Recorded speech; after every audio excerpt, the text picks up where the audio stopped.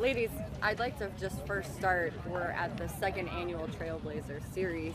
It's obviously there's so much excitement around it, second time around. How does it feel to be a part of this moment and this event? Shirley. This is what we're we've wished for since we the League of Their Own ended was something for these girls to have the same opportunity that we had to play baseball. And that's why it's so important for us to come out here, encourage them, and just just have have a great time.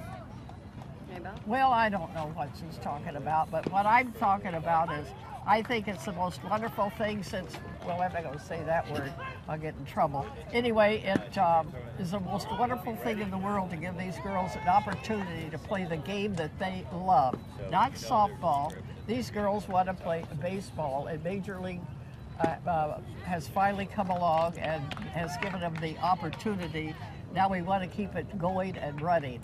Uh, to have the same opportunities that uh, Shirley and I had. If it's the most wonderful part of our life and not pushed into softball. If girls want to play softball, that's wonderful because I love to play softball also.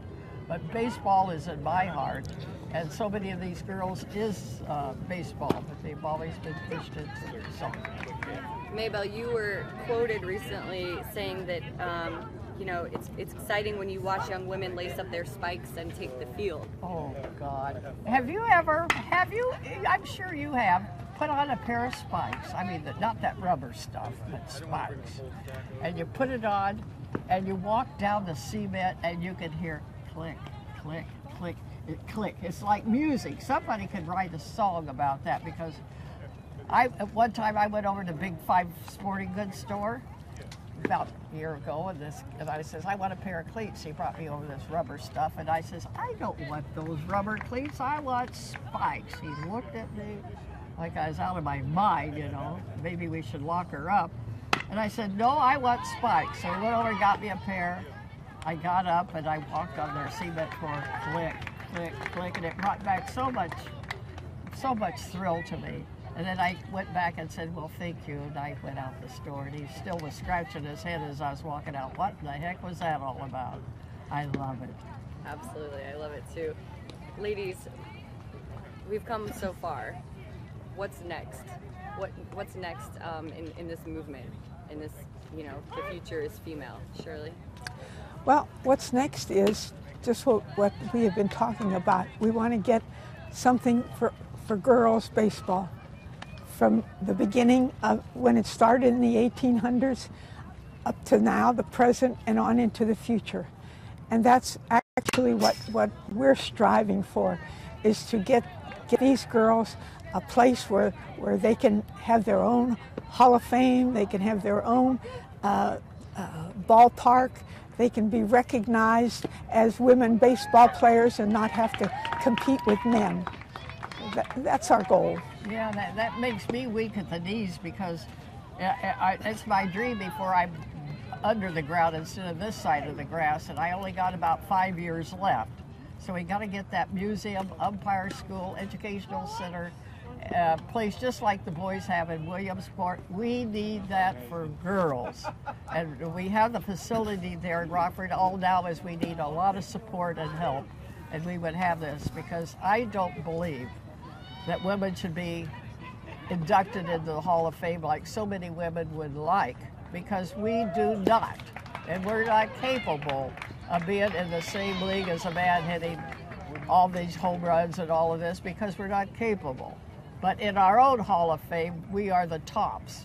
So let us have our own uh, museum and honor our girls all through the years that have outstanding just like the men. Let's talk about a league of your own, a league of their own.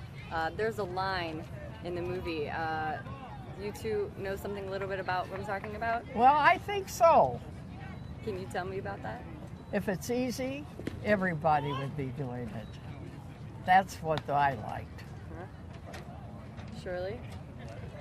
Oh, um, I don't know. There were a lot of lines in there that, that I liked. I, I, I don't know right off. That, that line particular was uh, stood out, I think, in the movie. But of course, the no crying in baseball thing, that was more, Oh yeah, more fun thing than, Yeah, it was fun making the movie. We had a ball um, being there. Uh, there's so many stories we could tell you about that movie that uh, if I had time, I could take about two hours to tell you what we did. uh, Is there one that sticks fun. out to you? One one memory from that time making that movie?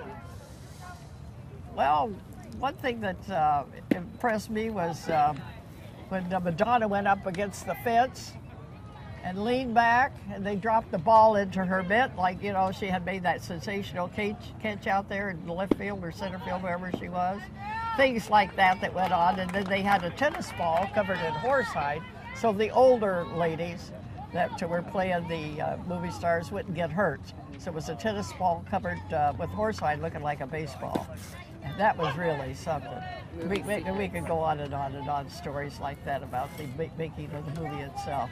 But the movie, uh, when you say Shirley about 90% right, she did a good job. She really did. She showed, showed uh, uh, the few Hollywoods that were in there, uh, drunken managers, things like that. Uh, but on a whole, she, she showed that what it was like, the camaraderie between the girls, among the girls, and uh, everything. The only one I was disappointed in was the chaperone. The chaperone was a very important part of the league, especially for the teenagers. And uh, uh, the way she was portrayed in the movie, I thought they could, they could have did a better job without having her dirt in her face and poisoning her dinner or whatever. Those kind of things. Ladies, my last question for you individually is the advice that you're giving to these young women who are trying to continue to blaze the trail that you that you forged. What do you say to these young women when they come up to you, Shirley? Well, the, what we try to do is to, uh, is to encourage them, encourage them to stick with it, because at some point they're they're going to get pushed into softball. I mean, they, they come up through little league and that, and they're fine, and, and maybe they get into high school and that. But then once once that happens, that's it for them. And what what we want to encourage them to do is to continue to strive to, and if we get enough girls interested, and maybe someone will recognize that we have all these girls wanting to play baseball, and perhaps someone will make a big donation and we can have another league of their own. Yeah, that's what we're striving for is a league of their own, and I'm going to be there throughout the very first pitch when it starts. Because we have to do it for these girls to give them the opportunity. It's a shame, you know, they have to go to high school practically and drop out of baseball because there's no place for them to play baseball. None whatsoever. So now the girls, believe it or not, are making the high school teams, a few of them, and it's really great. But beyond high school, men become, you know, they develop and get stronger, run faster, jump higher, or whatever. But uh, we are at our tops of our level that we can perform, and we should have that league and let them do their thing they We, love. we don't want to, them to have to compete against men. No, We, we have so many skills. They, women have so many skills uh, that they could show off, but they're not going to do that on a major league field against these men. No way. And there, there's no girl that's going to hit a ball 450 feet.